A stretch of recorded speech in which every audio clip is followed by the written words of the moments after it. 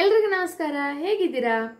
ಇವತ್ತು ನಾನು ಬಾಳೆಕಾಯಿಯನ್ನು ಉಪಯೋಗಿಸಿ ಒಂದು ಮಂಚೂರಿಯನ್ನು ಯಾವ ಥರ ಮಾಡೋದು ಅಂತ ತೋರಿಸ್ತಾ ಇದ್ದೇನೆ. ಇಲ್ಲಿ ಹೊರಗಡೆಯಿಂದ ತಂದಂತಹ ಯಾವುದೇ ಸಾಸ್ಗಳನ್ನು ಬಳಸ್ತಾ ಇಲ್ಲ.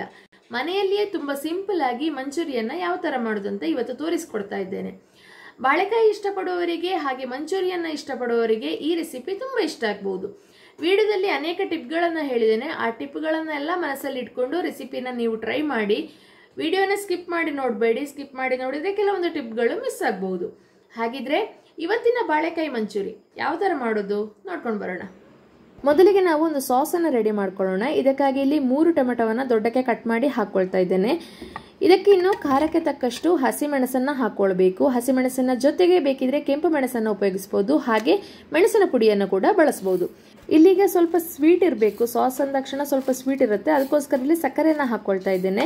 ಮೊದಲಿಗೆ ಒಂದು ಐದು ಸ್ಪೂನ್ ಹಾಕ್ಕೊಂಡಿದ್ದೇನೆ ನಂತರ ಸ್ವಲ್ಪ ಹುಳಿ ಇರಲಿ ಅಂತ ಲಿಂಬೆ ಹಣ್ಣಿನ ರಸವನ್ನು ಹಾಕ್ಕೊಳ್ತಾ ಇದ್ದೇನೆ. ಲಿಂಬೆಹಣ್ಣು ಇಲ್ಲ ಅಂತ ಇದ್ರೆ ನಿಮಗೆ ಹುಳಿಯನ್ನು, ಅಂದರೆ ಹುಣಸೆ ಹಣ್ಣನ್ನು ಹಾಕ್ಕೊಳ್ಬೋದು ಇಷ್ಟನ್ನು ಹಾಕ್ಕೊಂಡು ಇದನ್ನು ಚೆನ್ನಾಗಿ ರುಬ್ಬಬೇಕು ಇಲ್ಲಿ ನಾನೀಗ ಉಪ್ಪೇನು ಬಳಸಿಲ್ಲ, ಹಾಗೇನೆ ರುಬ್ತಾ ಇದ್ದೇನೆ. ನೋಡಿ, ರುಬ್ಬಿ ನಮಗೆ ಈ ಥರ ಸಿಗುತ್ತೆ. ಇನ್ನು ಇದನ್ನು ಬೇಕಿದ್ರೆ ಸೋಸ್ಕೊಳ್ಬೋದು. ನಾನಿಲ್ಲಿ ಹಾಗೇನೆ ಬಳಸ್ತಾ ಇದ್ದೇನೆ.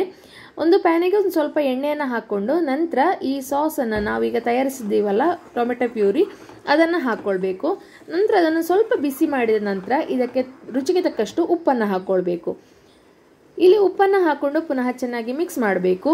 ಇನ್ನೀಗ ನಮಗೆ ಒಂದೇ ಕೆಲಸ ಉಳಿದಿರೋದು ಶುಂಠಿ ಹಾಗೆ ಬೆಳ್ಳುಳ್ಳಿಯ ಪೇಸ್ಟ್ ನಿಮ್ಮ ಹತ್ರ ಶುಂಠಿ ಬೆಳ್ಳುಳ್ಳಿ ಪೇಸ್ಟ್ ಇಲ್ಲ ಅಂತ ಇದ್ದರೆ ಹಸಿ ಶುಂಠಿ ಹಾಗೆ ಬೆಳ್ಳುಳ್ಳಿಯನ್ನು ರುಬ್ಬವಾಗಲೇ ಹಾಕ್ಕೊಳ್ಬೋದು ಈಗ ಇಲ್ಲಿ ಶುಂಠಿ ಬೆಳ್ಳುಳ್ಳಿ ಪೇಸ್ಟನ್ನು ನಾನು ಹಾಕ್ಕೊಂಡಿದ್ದೇನೆ ಹಾಕ್ಕೊಂಡು ಒಂದ್ಸರಿ ಚೆನ್ನಾಗಿ ಇದನ್ನು ಮಿಕ್ಸ್ ಮಾಡ್ತಾ ಇದ್ದೇನೆ.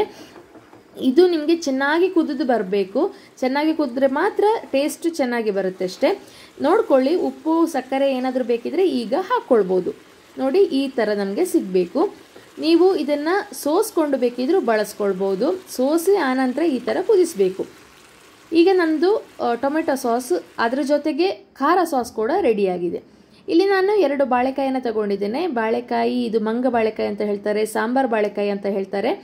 ಅದರ ಸಿಪ್ಪೆನ ಮೊದಲು ತೆಗಿಬೇಕು. ಸಿಪ್ಪೆನ ನಿಮಗೆ ಚೂರಿಯಲ್ಲಿ ಬೇಕಿದ್ರೂ ತೆಗಿಬೋದು ಇಲ್ಲಾಂದರೆ ಪೀಲರಲ್ಲಿ ಬೇಕಿದ್ರೂ ತೆಗಿಬಹುದು. ಬಾಳೆಕಾಯಿ ಚೆನ್ನಾಗಿ ಬಲ್ತಿರಬೇಕು. ಹಾಗೆ ನಾನಿಲ್ಲಿ ಇದನ್ನು ಹಾಕೊಳ್ಳೋದಕ್ಕೆ ಎರಡು ಪಾತ್ರೆಯಲ್ಲಿ ನೀರನ್ನು ತಗೊಂಡಿದ್ದೇನೆ. ಇದರಲ್ಲಿ ತುಂಬ ಒಗರಿರುತ್ತೆ, ನಿಮಗೆ ಒಗರು ಒಂದು ಸ್ವಲ್ಪನೂ ಬೇಡ ಅಂತ ಇದ್ದರೆ ಒಂದು ಪಾತ್ರೆಗೆ ನೀವು ಅಂದರೆ ನೆಕ್ಸ್ಟ್ ಅದನ್ನು ತುಂಡು ಮಾಡಿ ಹಾಕ್ತಿರಲ್ಲ, ಆ ಪಾತ್ರೆಗೆ ಮಜ್ಜಿಗೆಯನ್ನು ಹಾಕ್ಕೊಂಡು ಇಟ್ಕೊಳ್ಬೋದು ಅಥವಾ ಮೊಸರನ್ನ ಹಾಕಿ ಇಟ್ಕೊಳ್ಬೋದು.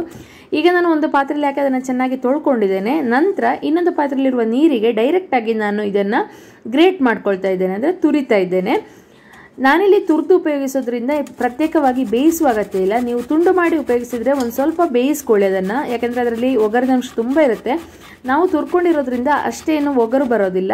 ಹಾಗೆಯೇ ನಿಮಗೆ ಒಗ್ಗರ ಇದೇ ಬೇಕೇ ಬೇಕು ಅಂತಾದರೆ ಮಜ್ಜಿಗೆಯನ್ನು ಬಳಸ್ಕೊಳ್ಬೋದು ಈಗ ನಾವು ಈ ನೀರಿಗೆ ಹಾಕಿ ಇಟ್ಕೊಂಡಿದ್ದೇವೆ. ಇದನ್ನು ಚೆನ್ನಾಗಿ ಹಿಂಡಿ ನೀರನ್ನು ತೆಗೆದು ಇನ್ನೊಂದು ಪಾತ್ರೆಗೆ ಹಾಕ್ಕೊಳ್ಬೇಕು.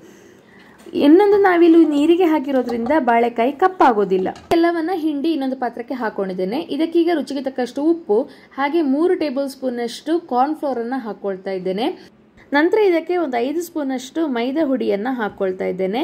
ಹಾಗೆ ಅದರ ನಂತರ ಒಂದು ಎರಡು ಟೇಬಲ್ ಸ್ಪೂನಷ್ಟು ಅಕ್ಕಿ ಹುಡಿಯನ್ನು ಹಾಕ್ಕೊಳ್ತಾ ಇದ್ದೇನೆ.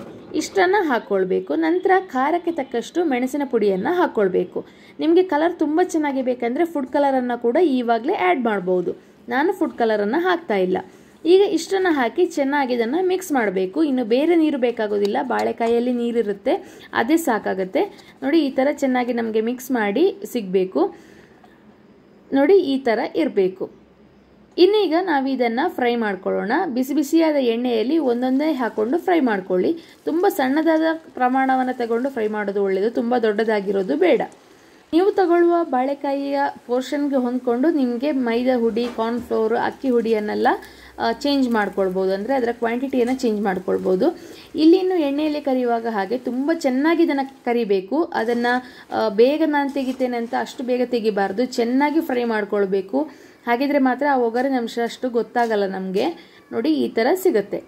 ಇನ್ನು ನಾವು ಮಂಚೂರಿ ರೆಡಿ ಮಾಡ್ಕೊಳ್ಳೋಣ. ಅದಕ್ಕಾಗಿ ಒಂದು ಪಾತ್ರೆಯಲ್ಲಿ ಅಥವಾ ಒಂದು ಕಡಾಯಿಯಲ್ಲಿ ನಾನು ಒಂದು ಸೌಟ್ನಷ್ಟು ಈಗ ಫ್ರೈ ಮಾಡಿದ ಎಣ್ಣೆಯನ್ನು ಹಾಕ್ಕೊಂಡಿದ್ದೇನೆ ನಂತರ ಅದಕ್ಕೆ ದೊಡ್ಡದಾಗಿ ಕಟ್ ಮಾಡಿದಂತಹ ಈರುಳ್ಳಿ, ಹಾಗೆ ದೊಡ್ಡದಾಗಿ ಕಟ್ ಮಾಡಿದಂತಹ ಕ್ಯಾಪ್ಸಿಕಮ್ಮನ್ನು ಹಾಕ್ಕೊಂಡು ಒಂದು ಸ್ವಲ್ಪ ಇದನ್ನು ಫ್ರೈ ಮಾಡ್ತೇನೆ. ನಂತರ ಇದಕ್ಕೆ ಉಪ್ಪನ್ನು ಹಾಕ್ಕೊಂಡು ಫ್ರೈ ಮಾಡಿಕೊಳ್ಳಿ. ಇಷ್ಟು ಉಪ್ಪು ಹಾಕಿ ಫ್ರೈ ಮಾಡಿದಾಗ ಇದು ಬೇಗನೆ ಫ್ರೈ ಆಗುತ್ತೆ. ಹಾಗೆ ನಮಗೆ ತುಂಬ ಇದು ಫ್ರೈ ಆಗಿ ಕಲರ್ ಚೇಂಜ್ ಬೇಡ. ಒಂದು ಸ್ವಲ್ಪ ಟ್ರಾನ್ಸ್ಪರೆಂಟ್ ಆದರೆ ಸಾಕು. ಈಗ ಇದಕ್ಕೆ ನಾನು ಒಂದು ಸ್ಪೂನಷ್ಟು ವಿನೆಗರನ್ನು ಹಾಕ್ಕೊಳ್ತಾ ಇದ್ದೇನೆ. ನಾವು ಸೋಯಾ ಸಾಸ್ನ ಬದಲು ವಿನೆಗರನ್ನು ಉಪಯೋಗಿಸ್ತೇವೆ. ವಿನೆಗರ್ ಇಲ್ಲಾಂದರೆ ಲಿಂಬೆಹಣ್ಣು ಇಲ್ಲಾಂದರೆ ಹುಣಸೆ ಹಣ್ಣಿನ ಜ್ಯೂಸನ್ನು ಬಳಸ್ಬೋದು. ಈಗ ನಾನು ತಯಾರಿಸಿಟ್ಟಂತಹ ಟೊಮೆಟೊ ಸಾಸ್, ಹಾಗೆ ಚಿಲ್ಲಿ ಸಾಸ್, ಇದು ಮಿಕ್ಸರ್ ಇದೆಲ್ಲ, ಅದನ್ನು ಕೂಡ ನೀರನ್ನು ಹಾಕ್ಕೊಂಡು ಹಾಕ್ಕೊಳ್ತಾ ಇದ್ದೇನೆ. ಇದನ್ನು ಒಂದ್ಸರಿ ಚೆನ್ನಾಗಿ ಮಿಕ್ಸ್ ಮಾಡ್ಕೊಳ್ಳಿ. ಇನ್ನು ನಿಮಗೆ ತುಂಬ ಸಾಸ್ನ ಥರ ಬೇಕು ಅಂದರೆ ನೀರನ್ನು ಕೂಡ ಹಾಕ್ಕೊಳ್ಬೋದು ನೀರನ್ನು ಹಾಕ್ಕೊಂಡ್ರೆ ನೀವು ಆ ನಂತರ ಕಾರ್ನ್ಫ್ಲವರ್ ಮಿಕ್ಸ್ಚರನ್ನು ಇದಕ್ಕೆ ಹಾಕ್ಕೊಳ್ಬೇಕಾಗುತ್ತೆ ಇಲ್ಲಾಂದರೆ ತುಂಬ ತೆಳ್ಳಗಿರುತ್ತೆ ಇದು. ಹಾಗಾಗಿ ನಾನು ಇಲ್ಲಿಗ, ನೀರಿಗೆ ಒಂದು ಸ್ವಲ್ಪ ಕಾರ್ನ್ಫ್ಲವರನ್ನು ಹಾಕ್ಕೊಂಡು ಮಿಕ್ಸ್ ಮಾಡಿ ಇದನ್ನು ಅದಕ್ಕೆ ಹಾಕ್ಕೊಳ್ತಾ ಇದ್ದೇನೆ. ನೀವು ಉಪಯೋಗಿಸಿದ ಸಾಸ್ಗಳೇ ಸಾಕು ಅಂತ ಆದರೆ ಅಷ್ಟೇ ಸಾಕು.